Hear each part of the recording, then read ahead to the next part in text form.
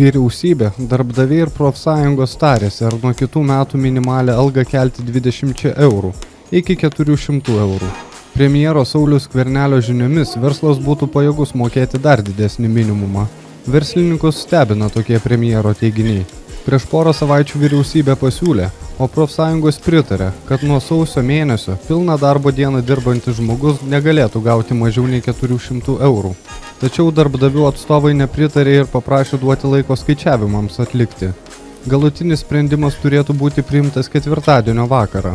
Anot premjero Saulius Kvernelio, įmonių vadovai gali mokėti ir daugiau nei 20 eurų pakeltą minimumą.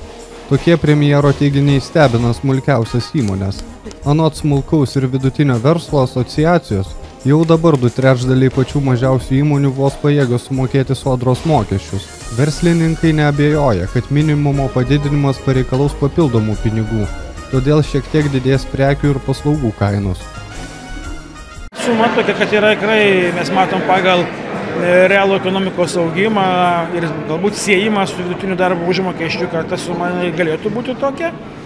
Ir tam yra, manau, mes rasime sutarimą, jo labiau, kad tas pats verslas, kalbant apie pramonės sektorių, net ir paslaugų sektorių, kur tikrai yra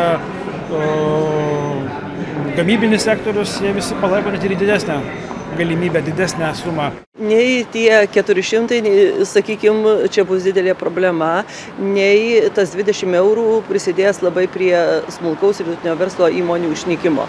Bet iš principo pati problema yra tai, kad mes neturim tokio labai aiškaus šitos minimalios algos skaičiavimo modelio. Kai kurios didžiosios įmonės, kurios neturi konkurencijos ir, ir tie prekybos centrai, kur žmonės apsiperka, ir monopolinės įmonės, jos ir lauk, tik ir laukia to žinutės. Kada pa auks minimali alga ir pagal tai pakelia atitinkamai kainas.